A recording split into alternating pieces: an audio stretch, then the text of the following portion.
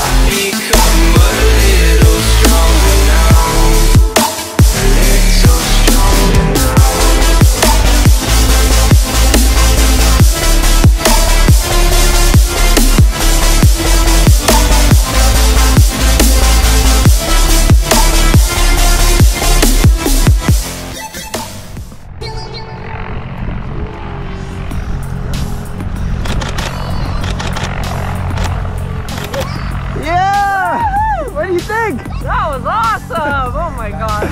What was your favorite part of the jump? right when you're out, it's like when I was with you. Yeah, in free That fall? Awesome. Yeah. Awesome. so- You gonna come back and do this with us some more? I think I will. Hey, thanks for coming out to Skydive DeLand. Nice job. Woo!